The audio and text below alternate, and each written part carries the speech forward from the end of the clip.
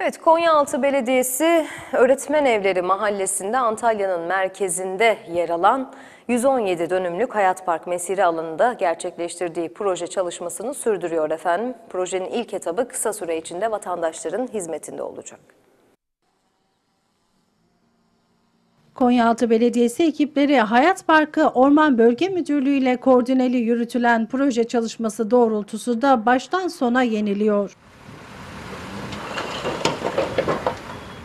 Belediye ekipleri Hayat Park'ın önce altyapısını tamamen yeniledi. Sulama ve elektrik altyapısı yenilenerek alan yeşillendirildi.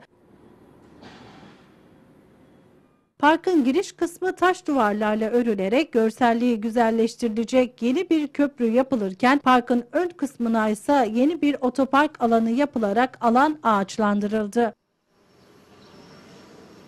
Yaklaşık bir ay sonra açılacak olan Hayat Park'ın ilk etabında tenis kortları, dinlenme alanları, otopark, yeşil alan ve kafeteryalar olacak.